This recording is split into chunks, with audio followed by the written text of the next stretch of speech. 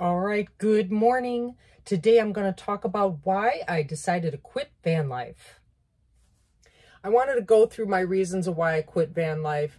They're actually pretty simple, maybe different than other people's, but there's only a couple reasons. No, it wasn't because I was tired of doing it or I was scared or I had too many issues with the van or anything like that. I really liked it. I loved doing it. I loved traveling around and having that that freedom.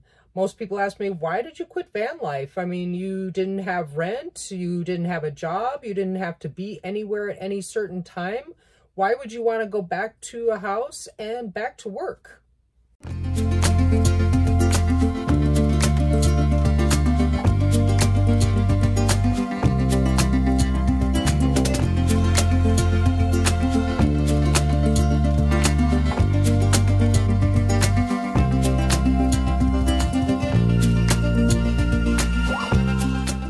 Right, good morning.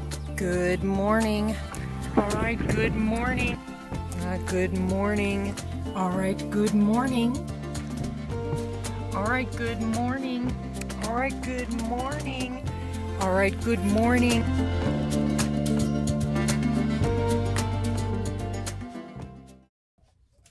Back in 2017, I decided to sell my family SUV and buy this van that I have here today.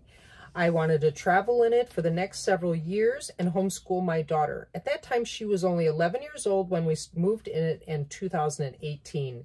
We traveled in it for about three and a half years, knowing that in the future she was going to want to go to high school. While we were traveling, we kind of looked around and looked at other places that we could go to high school for the next four years.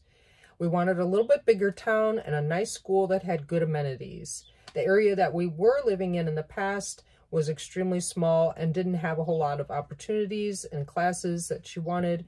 We just decided it would be kind of fun to have a different change for a few years. So since she was 11 when we started and when we ended, it, she was 14. And we outgrew it. We just outgrew it. We Normally, she had slept underneath the bed and I would sleep above. We made a bed underneath there and there's lights and all that kind of stuff underneath there but by the time it was towards the end, she was too big and we outgrew the van. So now comes the second reason. If you want to, if she wants to go back to high school, then you have to rent something or buy something. And that means getting a job. So I had to find a job again. Also, once I have to get a job, I can't stay in the van. I was here in the desert southwest and it was way too hot. I even tried to put a window unit air conditioner in here to try to keep it cool until I could find a house but it was extremely hard. So after having a job and trying to live in it, it was too difficult to keep going, too hot, too much work, and you can't always bring your whole house with to your job. So as soon as we were able to close on a house, we parked the van. Since I knew I would only be in this area for the time that she would be in high school, most likely, four years or so, then I decided to buy a fixer-upper house and I've been fixing it up for the last couple years and now I'm almost done and ready to sell it and put it on the market. Then now I can actually go back to traveling again just part-time.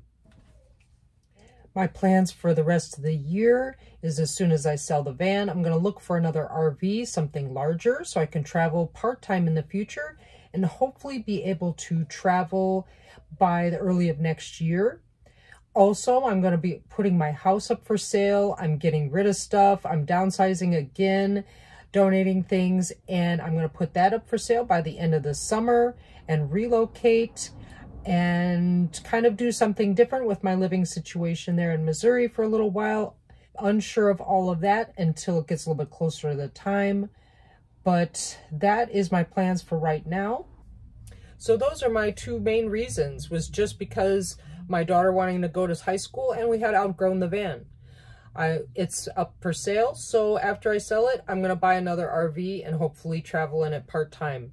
I really loved it, and I wouldn't trade the lifestyle at all. It was something I never regretted, and I would definitely do it again. And I hope whoever buys this van in the future gets to enjoy all of their travels and gets to enjoy that free lifestyle like I did. All right, thank you for watching and make sure to hit that like button and subscribe if you haven't done so already.